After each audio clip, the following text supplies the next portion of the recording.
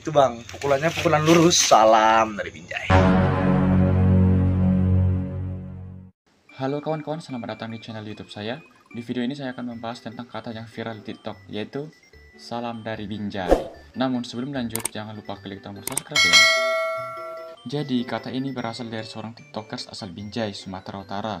Dalam video tersebut, dia mempraktekkan memukul pohon pisang dan akhirnya dia menyebutkan kata salam dari Binjai yang akhirnya dijadikan pelesetan netizen TikTok dan membuatnya sebagai meme di berbagai konten reupload lainnya. Hahaha, memang netizen serandom ini ya, hal-hal yang tak terduga bisa viral. Saya admin pamit undurkan diri.